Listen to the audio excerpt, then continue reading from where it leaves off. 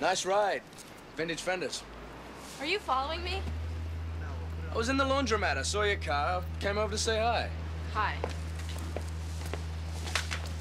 Not a big talker, huh? Depends on the topic. My fenders don't really whip me into a verbal frenzy. You're not afraid of me, are you? Afraid of you? Why would I be afraid of you? Well, most people are. Well, I'm not.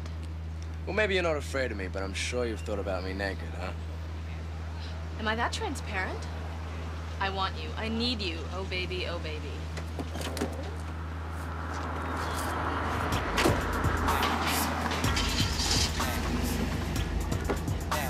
Ugh, what is it, asshole day? Do you mind? Not at all.